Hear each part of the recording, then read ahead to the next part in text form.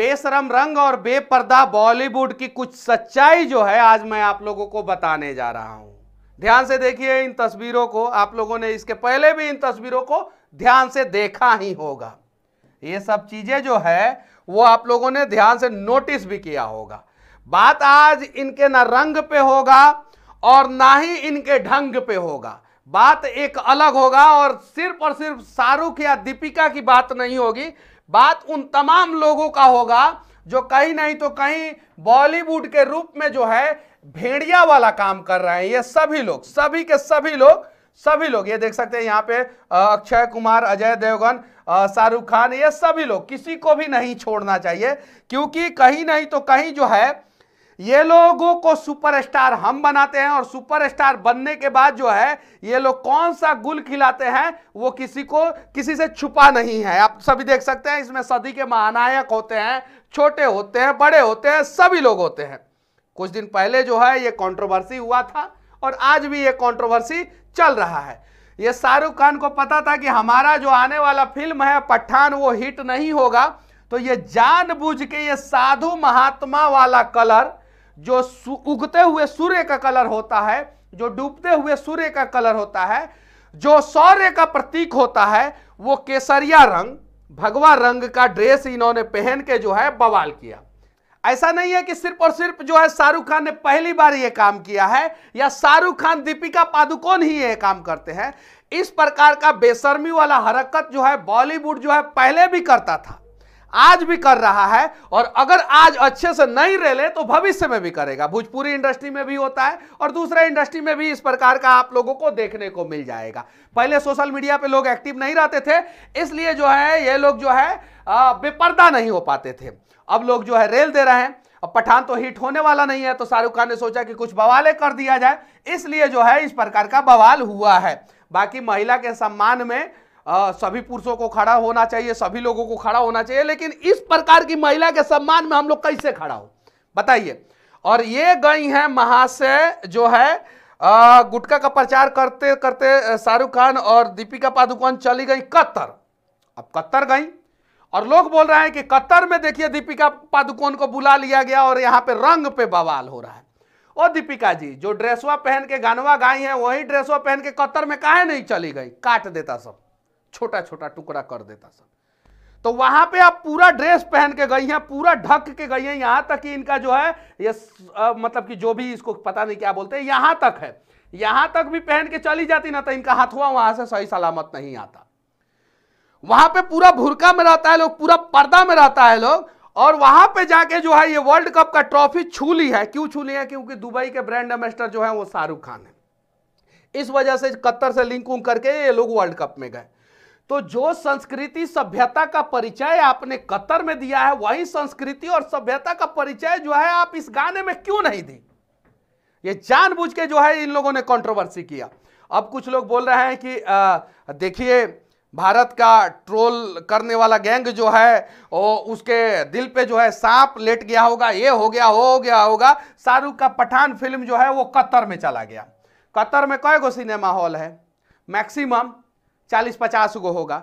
अगर कतर में इनको प्रमोशन करने से इनका फ़िल्म हिट हो सकता है तो भाई जाए ना, वहीं पे फ़िल्म लगाए, वहीं पे दिखाएँ। क्या ज़रूरत है? हम लोग नहीं देखेंगे। ऐसे भी जो है, भारत में लोग नहीं देखने वाले कतर में जाके ऐसे कर रहे हैं। अरे, आप ऐसा दिल खोलिए कि भारत के लोग आपसे नाराज़ नहीं हो। हम तो यही चाहते हैं, हमसे, हमारा कोई आपसे दुश्मनी थोड़ी है। आप ऐसा काम कीजिए ना, आप कतर वर्ल्ड कप फाइनल में जाके ऐसे कर रहे हैं तो आप और दीपिका पादुकोण जैसे गानवा में किए हैं, वैसे जाके करते वहाँ पे अपने आप पता चल जाता कि कतर वाला आपको बुलाता है कि नहीं बुलाता है। और आप फ़िल्म के वजह से नहीं गए हैं, शाहरुख खान जी और दीपिका पादुकोण जी, याद रखिएगा, आप लोग भारत के वजह से गए हैं। अगर किनिया के आप लोग सुपरस्टार होते, बरमुडा के होते ना तो आप लोगों को कोई नहीं बुलाता, कोई नहीं पूछता। कतर वर्ल्ड कप के दौरान फाइनल में भी, या कतर में जो है, वो अभी भी जो है, भारतीयों का बोलबाला है, भारतीयों की संख्या जो है, वहाँ पे ज़्यादा है। चाहे वो मुस्लिम भारतीय हो या हिंदू भारतीय हो, भारतीयों की संख्या वहाँ पे ज़्यादा है। इस वजह से भी आप लोगों को बुलाया गया। पहला चीज़। दूसरा चीज़, शाहरुख खान जी, आपने अच्छे अच्छे फ़िल्मों को भी बनाया है। आप भारत के सुपरस्टार थे। दीपिका पादुकोण जी सुपरस्टार थी। इस वजह से आप लोगों को बुलाया गया। भारत के सुपरस्टार थे, थी। इस वजह से। इस वजह से नहीं बुलाया गया कि दीपिका पादुकोण बेशरम है, उस वजह से। शाहरुख खान बेशरम है, उस वजह से। इस वजह से नहीं बुलाया गया। इन चीज़ों को आप लोग समझिए। और कहीं भी किसी के भी भावनाओं के साथ आप लोग खिलवाड़ करें। सपोज़, एक सेकंड के लिए आप लोग जो है, अपने आप को जो है, थोड़ा सा पीछे जाइए और घड़ी को जो है, उल्टी दिशा में मोड़ दीजिए। ये लोग जिस प्रकार से हिंदू भावनाओं को आहत पहुँचाए हैं, दुनिया के किसी भी दूसरे धर्म के लोगों के भावनाओं के साथ खिलवाड़ किए होते तो क्या होता है इन लोगों के साथ? हम किसी एक धर्म का बात नहीं कर रहे हैं। किसी भी दूसरे धर्म के लोगों के भावनाओं के साथ खिलवाड़ किए होते तो ये लोग क्यों नहीं सीखते हैं? कलाम हमारे देश के थे ना। हामिद ने देश को बचाने के लिए जो टैंक के नीचे जो है अपने आप को झोंक दिया ना, क्यों नहीं सीखते हैं? हम अगर मुसलमानों के भावनाओं का सम्मान करते हैं तो हम हिंदुओं के भावनाओं का भी सम्मान करेंगे। क्यों नहीं करेंगे? और ये लोग जो है, जरा सोचिए, किस धर्म में लिखा हुआ है ये नंगापन दिखाना? किस धर्म में? चलिए, रंग भूल जाइए। ये किसी भी रंग का होता, कुछ भी होता है इसको भूल जाइए आप लोग। भूल जाइए। आप बताइए कि क्या ये सही है?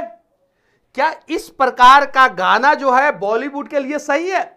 साउथ इंडस्ट्री क्यों आगे जा रहा है? साउथ के किसी भी सुपरस्टार को इस प्रकार का कुकर्म करते हुए आप लोगों ने देखा है और इस प्रकार का कुकर्म करने वाले लोगों को हम सुपरस्टार कैसे माने, कैसे बोले, आप भी लोग बताइए।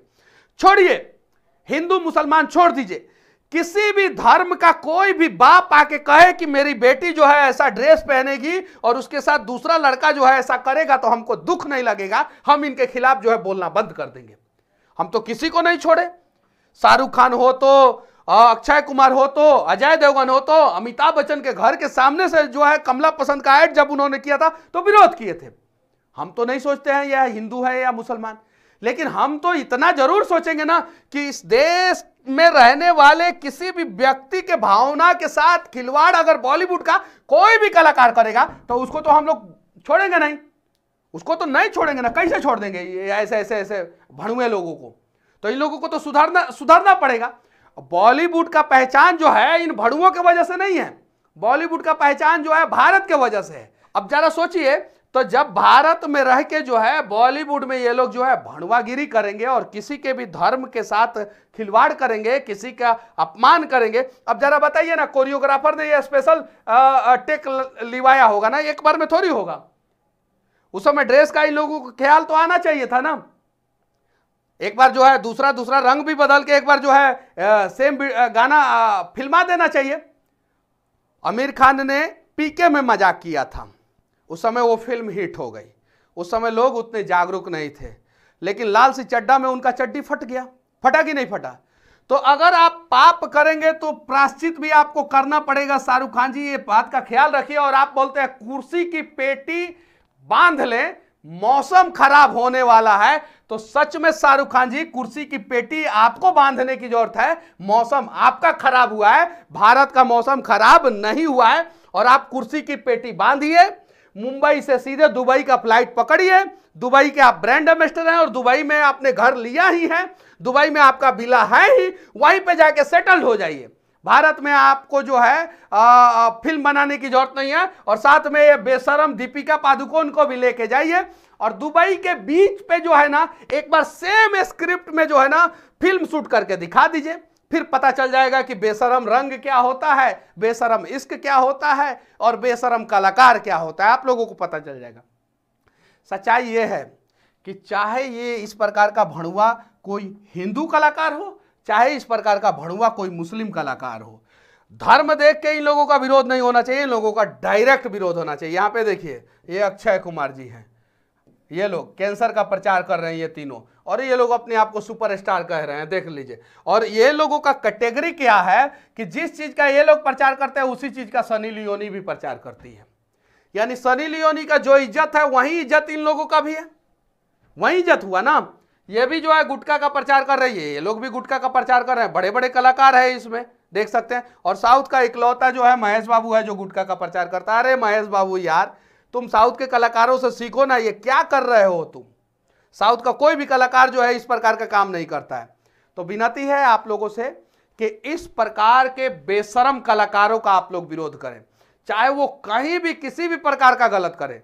साउथ के लोग जागरूक हैं इसलिए जो है साउथ में जो है वहाँ के कलाकार जो है बेशर्मी का हद पार नहीं करते हैं और हम लोग जो है इसी में मज़ा लेते हैं। कुछ लोगों से मैं मिला था तो वो लोग बोल रहे थे कि गानवा तो बहुत कमाल का है।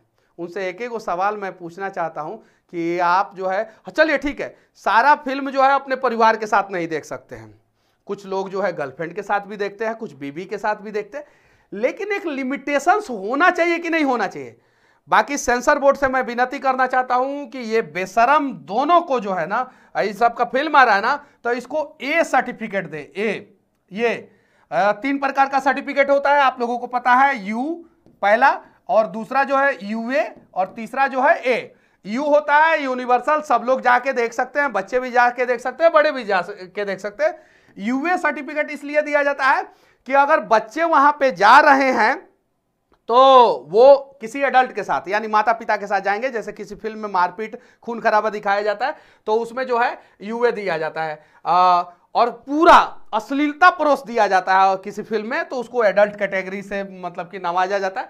तो बॉलीवुड जो है सेंसर बोर्ड जो है इस फ़िल्म ये बेशरम कलाकार के फ़िल्म का जो है ना सर्टिफिकेशन अगर जब दे रहा है तो उसको जो है एडल्ट कैटेगरी का दे। ताकि लोगों को पता चले कि ये एडल्ट फ़िल्म है और पठान जो है फ़िल्म फ्लॉप होने वाला है। भाई साहब, देखिए, अगर आपने ये कृत्य नहीं किया होता तो शायद हम लोग सोचते भी फ़िल्म देखने के लिए, लेकिन अब हम लोग नहीं जाएँगे। बाकी बॉलीवुड के बेशरम कलाकारों के बारे में आप लोग क्या सोचते हैं? इनका रिलाई होना चाहिए कि नहीं होना चाहिए? ये लोग किस प्रकार से सुधरेंगे? इन सब चीज़ों पे आप लोग अपना राय निष्पक्ष होके एक भारतीय के रूप में धर्म से ऊपर उठ के जो है ज़रूर रखना कमेंट बॉक्स में। जय हिंद।